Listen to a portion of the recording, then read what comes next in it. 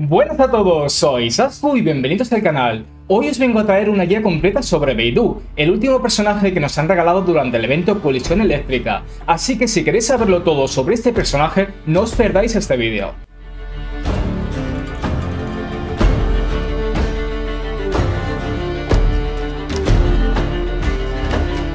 Liyue y Inazuma comparten un dicho común. Sus aletas formaron el profundo océano y su cola creó las altas montañas. Los pescadores aprendieron esta frase mientras estaban en tierra hace mucho tiempo y la cantaron una y otra vez difundiendo la melodía hasta que se convirtió en la canción más alabada que la gente conoce hoy en día. Esta fue la canción de cuna de la infancia de Beidou. La historia de Reslapis derrotando a los monstruos marinos se había vuelto legendaria entre la gente de Liyue. De niña, a Beidou le encantaban esos cuentos y a menudo soñaba con que ella también le gustaría ver aquel pez gigante. Sin embargo, un día cantó la canción con una emoción diferente en su corazón. Toda la tripulación cantaba mientras navegaban. Kaisan estaba en el agua muy cerca, mitad pez y mitad dragón. Era temible como una deidad, levantando olas de decenas de metros de altura con facilidad. Aquellos acostumbrados a jugarse la vida en el mar estaban destinados a encontrarse con Haisan. Beidou había deseado hacerlo desde que tenía 9 años y soñaba con cortarle la cabeza de un solo golpe. Muchas veces había desafiado a la criatura y muchas veces había fallado, pero hubo un día que fue diferente. Ese día cargó contra Haisan con su mejor espada mientras apartaba a sus marineros del medio. La feroz batalla duró cuatro días. La flota atacó a Haisan con sus cañones, sus arpones, sus flechas y sus cuerdas, mientras que Beidou luchó contra la criatura durante 10 horas hasta bien pasada la noche. Paisan se sentía más cómodo en la oscuridad, así que ni un solo miembro de la flota se atrevió a dormir aquella noche. Beidou esperaba en la proa del barco mientras escuchaba el sonido del viento. Un golpe, tan solo un golpe, eso es lo que necesitaba para derrotarlo. Entonces, ella esperó inmóvil al amparo gélido del viento de la noche. Al alba, sin haber comido ni bebido en toda la noche, Beidou escuchó un cambio en el sonido de las olas. Entonces, asestó un golpe como un trueno, como una furiosa ola que cortó la cabeza del gigantesco monstruo. Los truenos partieron el cielo y un rayo púrpura cayó justo ante Beidou, que quedó completamente bañada en la sangre de su enemigo. El deslumbrante destello púrpura que cayó del cielo como un rayo era incluso más valioso que la propia sangre de Haisan, y así fue como la Matadragones obtuvo su visión. Un regalo divino para aquella persona capaz de subyugar a la terrible bestia. Estadísticas. Beidou es un personaje electro de 4 estrellas usuaria de mandoble. La estadística que gana al ascender es bonus de daño electro. Talentos de combate. Conquista del océano. Su ataque normal realiza hasta 5 tajos rápidos. Su ataque cargado sigue consumiendo aguante para realizar golpes de espada continuos. Cuando termina ataque cargado, hará un movimiento que da dos cortes con fuerza añadida. Y su ataque descendiente se lanza desde el aire para golpear el suelo, dañando a los enemigos a lo largo de su camino e infligiendo daño en el área de efecto en el momento del impacto. Beidou es uno de los pocos usuarios de mandoble que hace un combo de 5 golpes, y sus ataques son más rápidos, pero sus escalados también son más bajos. Es por eso que trataremos de no usarla como DPS.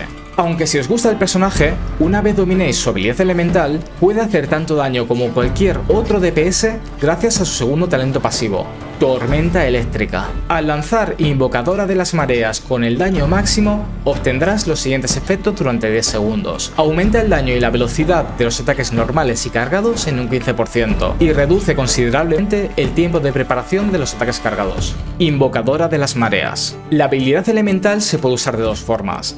Al pulsarla una vez, tras acumular el poder del rayo, Beidou ataca ferozmente con su espada infligiendo daño electro, y al mantenerla pulsada, levanta su arma como un escudo, cuya absorción aumenta en proporción a la vida máxima de Beidou. Tras liberar la habilidad o cuando termine su duración, contraatacará con la energía almacenada dentro de su gran espada, infligiendo daño electro. El daño infligido aumenta con el número de veces que Beidou es atacada mientras dure la habilidad. El bonus máximo de daño se obtendrá una vez que este efecto se active dos veces. Este escudo posee las siguientes características. Tiene un 250% de eficacia de absorción contra el daño electro, y al activarse aplica el elemento electro sobre Beidou. Esta habilidad está un poco mal redactada y no queda nada clara. El primer multiplicador sería el daño base, el segundo cuando recibe un primer golpe tras el cual se iluminará la espada y el tercero si recibimos dos golpes o más y nos pondrá un campo de energía. Por ejemplo, en mi caso que tengo la habilidad a nivel 11, por hacer un clic haríamos un 231%, si nos dan un golpe haremos 231 más 304% y si nos dan dos golpes o más haríamos 231 más 304 más 304%, lo que haría un total de 839% de daño con una sola habilidad elemental. Ahora, todo esto cambiaría con su primer talento pasivo, Castigo Divino. Contraatacar con Invocadora de Mareas en el momento preciso de ser golpeado le otorga el bonus máximo de daño. Es decir, que si soltamos el botón justo en el momento en el que nos van a atacar, haríamos el daño como si nos hubiesen dado dos golpes, en mi caso 839% de daño. Esta técnica es conocida como Perfect Counter o Perfect Parry, lo que traducido al español sería parada perfecta. Es la técnica más importante que debemos aprender si queremos usar a correctamente. Además, debéis saber que las partículas generadas por esta habilidad son 2 más 1 por cada golpe adicional o 4 con un Perfect Counter. Quebranta tormentas. Recordando su batalla contra la gran bestia Haisan, Beidou recurre a esta monstruosa fuerza y al rayo para crear un escudo del trueno a su alrededor que inflige daño electro a los enemigos cercanos.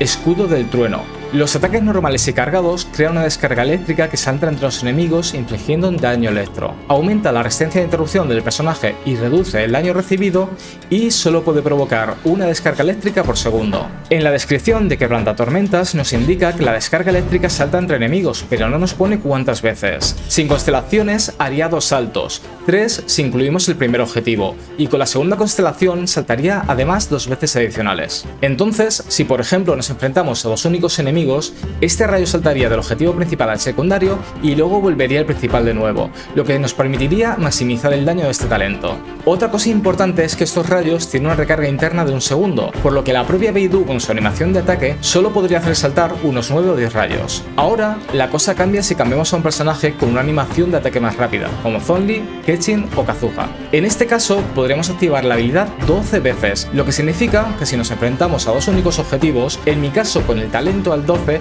estaría haciendo un total de 11.520 de daño, haciéndola uno de los mejores personajes contra dos objetivos. Otra cosa muy importante es que esta habilidad se beneficia del snapshot, por lo que si la unimos a otros personajes como Kazuha, Bennett o Sara, que vendrá próximamente, nuestro daño aumentaría aún más. Talentos de campo.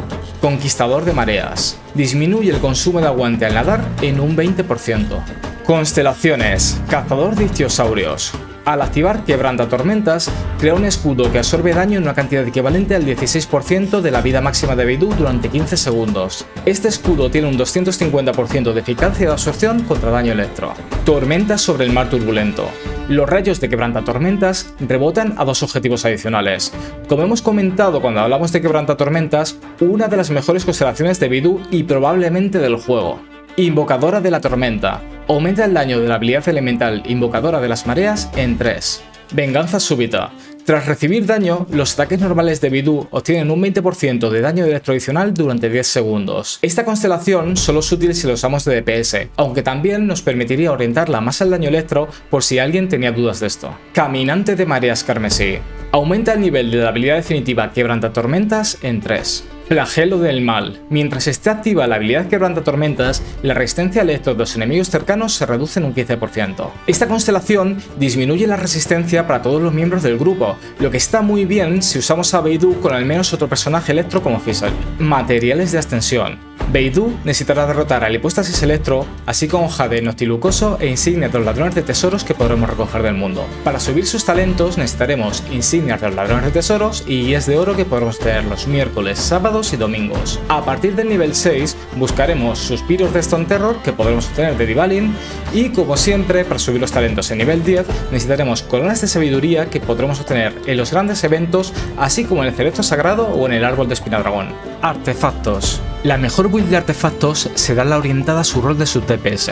En este caso buscaremos las cuatro piezas del set Emblema del Destino, que con el conjunto de dos piezas aumenta la recarga de energía en un 20% y con el conjunto de cuatro piezas aumenta el daño infligido con la habilidad definitiva en una cantidad equivalente al 25% de la recarga de energía. Solo se puede obtener un aumento de 75% como máximo. He visto a mucha gente bulleando mal a los personajes con este set, ya que con demasiada recarga de energía estaríamos perdiendo daño. Con solo 140% de energía estaríamos ganando un 35% de daño, que es lo mismo que ganaríamos con 2 de nobleza y 2 de electro, pero además ganaríamos un 20% de recarga de energía. Por esta razón, en las estadísticas principales buscaremos vida en la flor, ataque en la pluma, ataque en las arenas, daño electro en el cáliz y probabilidad o daño crítico en la tiara. En los substats buscaremos probabilidad de crítico hasta tener al menos un 50%, daño crítico, porcentaje de ataque y recarga de energía hasta tener al menos un 140%, siendo útiles el ataque plano, la maestría y la vida, pero nunca buscaremos defensa. Y si no tenemos el nuevo set,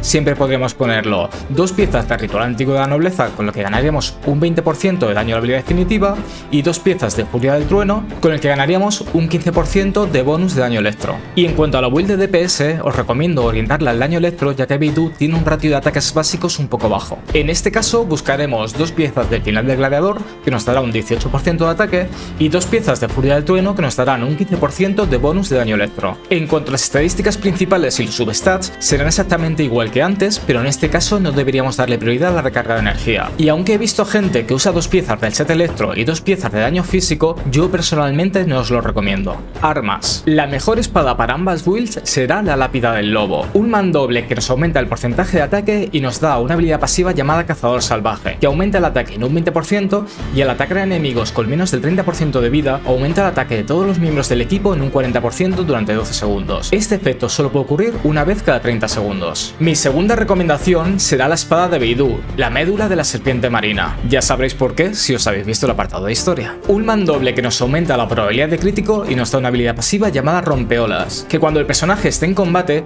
aumenta el daño que inflige en un 6% y el daño que recibe en un 3% cada 4 segundos. Este efecto puede acumularse un máximo de 5 veces y no se reiniciará si el personaje se retira del combate, sino que cada vez que reciba daño perderá una de las cargas acumuladas. Y como tercera opción os voy a recomendar el nuevo mandoble que vendrá en el evento de pesca y que nos regalarán a refinamiento 5, el rey de los mares. Un mandoble que aumenta el porcentaje de ataque y nos da una habilidad pasiva llamada victoria oceánica, que aumenta el daño infligido por la habilidad definitiva en un 12% y cuando la habilidad definitiva golpea a un enemigo hay una probabilidad del 100% de evocar un atún gigante que ataca e inflige daño en el área de efecto equivalente al 100% del ataque. Este efecto solo se puede activar una vez cada 15 segundos. Y como siempre, por si tenéis algún mandoble que no os haya recomendado, aquí os dejo la lista de armas para que sepáis el lugar que ocuparía dentro de la tier list. Composiciones. En las composiciones me voy a centrar en explicaros la que creo que es la mejor desde mi punto de vista, pero vamos a ver después una gran cantidad de opciones para todos los que me pedíais más composiciones de personajes. La mejor opción será la de electrocargados con un DPS hidro. Para ella necesitaremos cualquier DPS hidro que nos habilite la reacción. La mejor opción será Kokomi, ya que sin ella nos faltaría un healer y es el personaje hidro que puede hacer más daño aparte de curar. El segundo mejor personaje será Tartalia, y aunque seríamos muy dependientes de los escudos de Beidou, haríamos tanto daño que podríamos acabar con los combates muy mucho más rápido. Y como tercera opción tendremos a Mona. Es el personaje con el que vamos a ver la composición, ya que como yo nunca he comprado protogemas, por desgracia no tengo otro personaje con el que probarlo. En el segundo hueco llevaríamos a Fizzle, ya que si tenemos a Oz en el campo, cada vez que hagamos una reacción elemental, lanzará una retribución del cuervo que hará una cantidad increíble de daño. En el tercer hueco llevaríamos a Baidu, que nos aporta toda la supervivencia necesaria y una gran cantidad de daño constante gracias a su habilidad definitiva. Y en el último hueco llevaríamos a Kazuha, que nos permite juntar a los enemigos nos aumenta el daño electro en un 40% y también reduce las resistencias gracias al set verde esmeralda. La mejor alternativa a esta build si no tenemos un DPS hidro será directamente usarla sin DPS llevando a Chinkyu como support. En mi caso, como podéis ver, he hecho mejor tiempo con esta build sin DPS y he podido pasarme el abismo 12-1 en tan solo 20 segundos.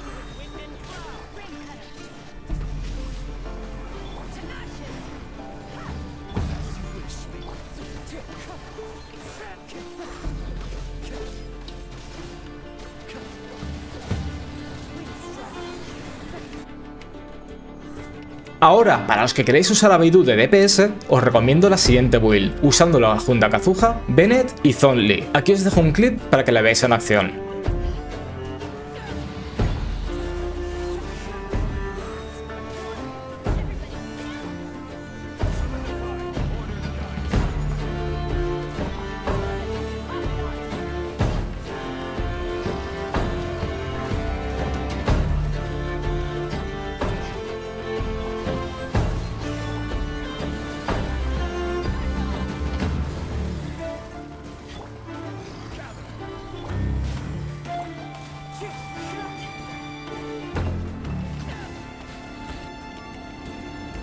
Y como builds opcionales, podéis usarla junto a un DPS físico como Eula para aplicar el estado superconductor constantemente y mejorar su daño,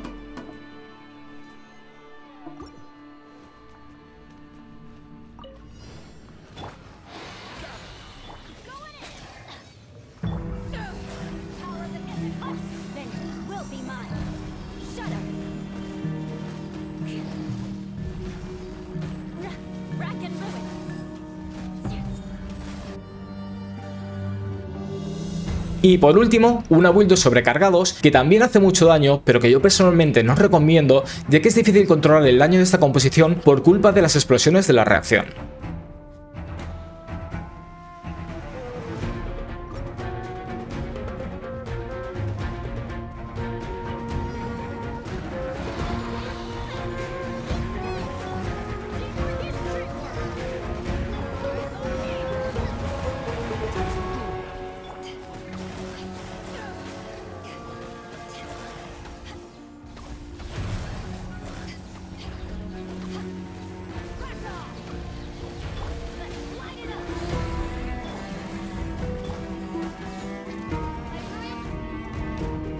Y para despedirnos, deciros que esta vez no tendréis queja, os he traído hasta 5 composiciones diferentes. Así que si os ha gustado este vídeo, dadle a like, suscribíos y nos volveremos a ver, viejo amigo.